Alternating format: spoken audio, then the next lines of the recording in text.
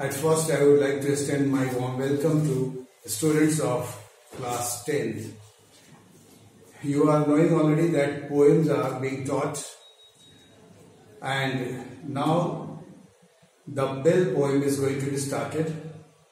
The ball poem, ये आप देखेंगे बुक ओपन कर लेंगे और लाइंस को आप देखते रहेंगे और सबको हम एक एक करके समझा रहे हैं The poem, the title suggests that the poem is pertaining to the ball. What happens to a ball after all? Ball आखिर में उसके साथ क्या है? कौन सी चीज़ है? क्या बात है जो ये बॉल पोएम इसका नाम डाल रहा है? बॉल से कुछ ऐसी चीज़ है जो कि बहुत सारे ज्ञान आपके अंदर वो भर देता है। तो बॉल सब कुछ बताएगा कि कैसे हम लोग अटैच रहते हैं अपने पास्ट से। और ख़ास करके वो बचपन के जो दिन चाइल्डहुड डेज़ और डेज़ गॉन बाई जो बीत गए, वो दिन गुजर गए और जो हमारे साथ थे दोस्त, जो वस्तु, जो बॉल या कुछ भी, उससे हमारा अटैचमेंट था, उसके खो जाने पर, उसको रिप्लेस और किया जा सकता है तो फिर भी सेटिस्फेक्शन नहीं मिलती। है वो लगता है कि वो पर्टिकुलर चीज़ चाहिए हमको। Suppose you have lost someone some near and dear तो at the place of that very dear one or the friend also. Another friend can come, you may befriend others, but you are just thinking that the same person, the same man, the same friend, if should come, अगर वो आ जाए तो बहुत बढ़िया होगा क्योंकि उसके साथ आपकी यादें जुड़ी हुई है बॉल जिसको आप बहुत दिनों से अपने पास रखे थे उसे खेलते थे वो सपोज़ करिए अगर गायब हो गया suppose you have miss the very ball तो फिर आपके पास एक ऑप्शन है कि दूसरा बॉल खरीद। लें लेकिन नहीं, आपको पर्टिकुलर खास करके वही बॉल जिससे आपकी यादें जुड़ी हुई हैं। आप चाहेंगे कि वही बॉल आपको आपको मिल जाए, है ना? उसके बदले में कोई आपको कहे कि आपको take it the money and go and buy go and purchase तो आप नहीं करना चाहेंगे। क्यों? क्योंकि वो बॉल आपका, खास करके अतीत से साथ दे रहा है। और वो चाहते हैं कि हमारे साथ वही रहे हमेशा, जो कि इस मटेरियल वर्ल्ड में संभव नहीं है। Everything is transitory everything is temporary you will have to lose everything one day और सुनो और लेटर कभी देर सवेर हो सकता है, बीच में भी कोई चीज़ आपकी मिस हो जाए तो फिर आपका सब खत्म। तो आपको हम पहले यहाँ दिखाएँ इंट्रोडक्टरी लाइन्स हैं। The boy loses the ball he is very upset upset means sad वो बहुत डिजेक्टेड है. उसका डिजेक्शन का मूड हो गया है, चूँकि गुम हो गई है वो चीज़. A ball doesn't cost much no is it difficult to buy an the ball why then is the boy so upset read the boy to see what the boy thinks has been lost and what the boy has to learn from the experience of losing something तो क्या have already told you that the boy is needing the same ball. He is in need of the same ball. He wants to take the very ball that he had lost.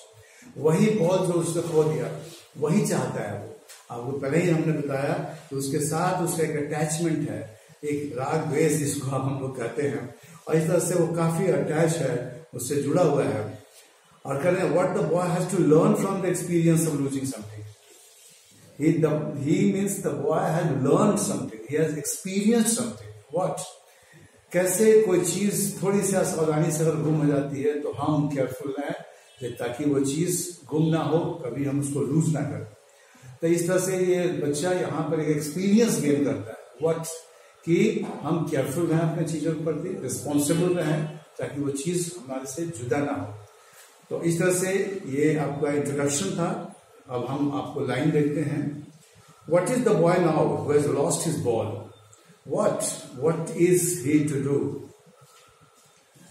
तो what is the boy now has lost his ball what he is to do वो क्या है वो लड़का जो has lost his ball जो ball को खो दिया। अजीब है।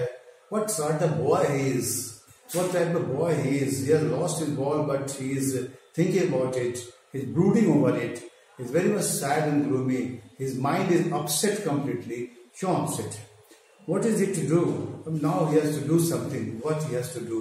अब वो क्या कर रहा है दूसरे दूसरे वाली बॉल को, दूसरी गेंद को खरीद ले दूसरी बॉल को खरीद ले ये है एक ऑप्शन लेकिन नहीं चाहता है चाहता है कि सेम बॉल उसके पास है क्या है वो दिस इज़ कॉल्ड अटैचमेंट ये होता है सबके साथ ऑब्जेक्ट के साथ बींग्स के साथ ह्यूमन बींग्स उसको आप कहते हैं।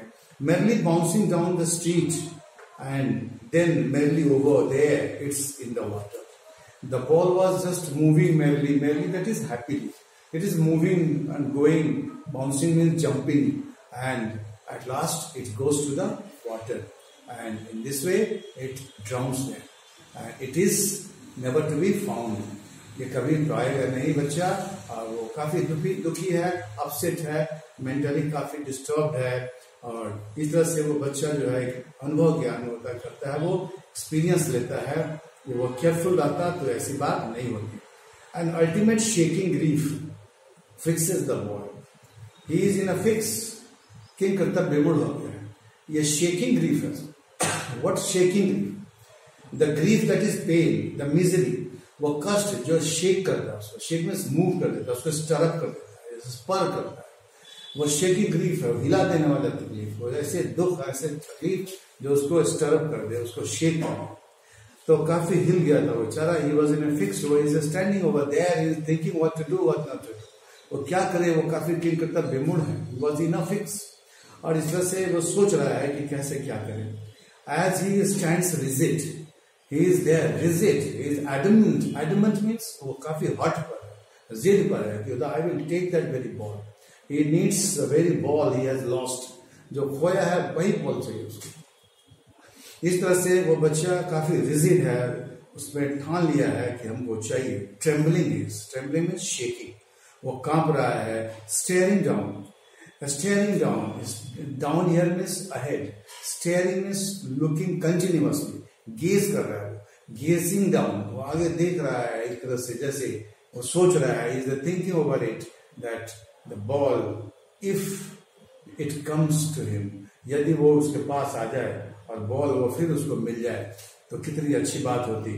He is thinking over it all his young days into the harbour where his ball went I would not intrude intrude on him. A dime, another ball is worthless. Harbor harbor that is bandargah तो the very port harbour port तो वो बंदरगाह water is there तो वहाँ harbour पे वो beginning from the very beginning जब बच्चा था, वहाँ पर वो खेलना करता था यूज़ टू प्ले देयर लेकिन इस बार उसके साथ दिस टाइम व्हाट हैपेंस वो बॉल खो दिया, वही पानी में वो बॉल चला गया है. उसी के उसी के पानी में वो चला गया है, डूब गया है ड्राउन कर गया है. The harbour where when the boy was young young का ऐसे दो मतलब होता है यंग जवान आदमी यंग मैन और एक यंग मतलब छोटा के सेंस में भी आता है। यंगर ब्रदर आपका वो छोटा भाई छोटा है आपसे। तो यंग फेलो तो इस तरह से आप वहाँ पर थोड़ा सा कम एज में आप चले जाइए। तो इस तरह से अंतर हो गया। लेकिन यहाँ बच्चा वही है, छोटा बच्चा। कहता है young days into the harbour वह सो बचपन में when he was a child used to be a child used to play over there वो वहाँ खेला करता था। वेर इज़ बॉल वेंट जहाँ उसकी गेंद चली गई है। I would not intrude on him He doesn't want to. I refers to the poet. The poet doesn't want to interfere. He doesn't want to intrude. उसको वो घुसपैठ करना नहीं चाहता था। वो नहीं चाहता था इंटरफेयर करने। लेकिन वो भी थोड़ा अपसेट हो रहा है। बच्चे की तकलीफ़ देख करके is thinking to give him something some dime dime आप समझ रहे हैं, ये करेंसी है। और ये डाइम जो है वन टेंथ है। किसका? आप जो देखते हैं कि विदेश में चलता है क्या क्या बोलते हैं? डॉलर है, पेंस है सीलिंग है, ये रूबल है, लीरा है, ये सब करेंसी है। तो यहाँ डॉलर है, उसका टेंथ वाला छोटा पार्ट को बोलते हैं टाइम अगर है कि जैसे आप कह लीजिए कि वो थोड़ा सा अमाउंट कुछ ले ले, पैसा ले ले, और खरीद ले दूसरा। लेकिन इट्स नॉट पॉसिबल वो बच्चा जिद पर है कि उसको वही चाहिए। तो in this way the poet wants the boy to buy another ball uh, and to leave thinking about that very ball which is drowned, which is gone. तो लेकिन बच्चा वो जिद कर रहा है to dawn him dying he senses first responsibility तो in this way he senses first responsibility means पहला जो उसका कर्तव्य है उसको वो सेंस करता है एक्सपीरियंस इट क्या उसका कर्तव्य है? कि वो काफ़ी केयरफुल है और इस तरह से केयरलेसनेस आगे उसको इस तरह के बहुत सारे लॉसेस से उसको रूबरू कराएगा। Will have to face many losses ऐसे बहुत सारे लॉस होंगे उसके जीवन में। अगर वो केयरफुल नहीं है, वो इरेस्पॉन्सिबल है। रिस्पॉन्सिबिलिटी का ज्ञान होना चाहिए। ये छोटी सी कविता ये भी समझा रहा है, पाठकों को रीडर्स को। हमारे स्टूडेंट समझ रहे हैं कि काफ़ी रिस्पॉन्सिबल होना है। और फ्रॉम द वेरी बिगिनिंग आपका जो यंग एज है यहाँ से आप काफ़ी रिस्पॉन्सिबल रहिए, कोई चीज़ आपको फिर खोनी नहीं पड़ेगी और इस तरह से ये सेंस होना चाहिए आपके अंदर। तो in a world of possessions इस दुनिया को कहा गया है world of possessions means here everybody wants to purchase something purchase means to get to gain to have to procure हर चीज़ को आप परचेस करते हैं। Okay this book is under my possession ये किताब मेरे अधिकार में जैसे आप बोलते हैं। तो पोजेशन वाले फीलिंग है हर मनुष्य में आ, ये मेरा है ये उसका है ये फीलिंग आता है। तो मनुष्य चाहता है कि ज़्यादा से ज़्यादा चीज़ों को वो ओन कर ले। Wants to own lot of things तो इन वर्ल्ड ऑफ़ पोजिशन ये दुनिया पोजिशन की है people will take balls balls will be lost always little boy in world of possession people will take balls balls will be lost always little ये तो ball है, ये तो हमेशा गुम होती रहेगी खोती रहेगी। अब एक दूसरा खरीद लेंगे, उसके लिए क्या अफसोस करना? लेकिन वो अफसोस करता है। वो सोचता है कि नहीं, वो चीज़ जो हमारे यादों को कैरी कर रही थी, वो अतीत से जुड़ी हुई थी, वही चीज़ हमको फिर से मिल जाए। मैंने आपको कहा, एक दोस्त या कोई अपना लविंग फ्रेंड अगर चला गया, आपसे दूर हो गया। फिर उसकी जगह दूसरे को आप दोस्त बना लेते हैं। लेकिन आपकी याद उसके साथ जुड़ी होती the memory is attach to that very friend who is lost जो खो गया, जो चला गया, जो दूर हो गया, आप चाहते हैं उसी से आप मिलना। जबकि दोस्तों की कमी नहीं है, आप किसी को भी दोस्त बना सकते हैं, लेकिन ये अटैचमेंट है।